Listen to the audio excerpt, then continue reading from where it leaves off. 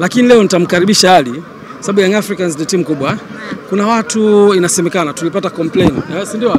Tulipata complain juzi ya kwamba watu wengi hawakujitokeza kwenye kwenye ile parade. Ni parade yeah. Si ndio? Kuja watu wachache Walikuja watu wachache sana. Sasa tumekubaliana wale walokosa siku ile, kesho tutafanya tena parade. Eh. Parade nyingine. Na leo kesho tena.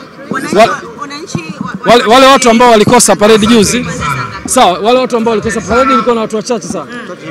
Kwa hiyo tumekubaliana tunairudia kesho. Yes, asubuhi tutakapotua tu. hali itaendelea hapo. Asante.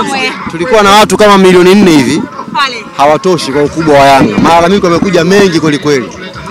Lazima tufanye paredi nyingine kwa wale ambao hawakuwepo kesho tena. Tutawatangazia muda usiku huu inshallah.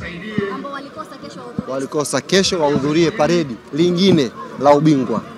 Ali Kamwe, hii imetokana na nini? Kwa sababu tunaona mmeweza kutoa kombe hili la FA back to back, mmetoa kombe la ligi kuu, la Kwanza kabla, kabla, kabla ya huko tunacheza fainali leo dhidi ya Azam FC.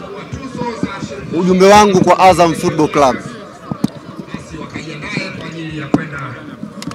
ujumbe wangu kwa Azam Football Club, wakati Fiston Kalala Mayele anawaambia kwamba nyie ni wakamiaji, respondi yao kwenye lile neno limeprove kwamba wao ni timu ya daraja lipi. Na sisi leo haikuwa mechi ya fainali tu, ilikuwa mechi ya kuwakumbusha Azam FC daraja lao ni lipi. Tufunge bam, tufunge.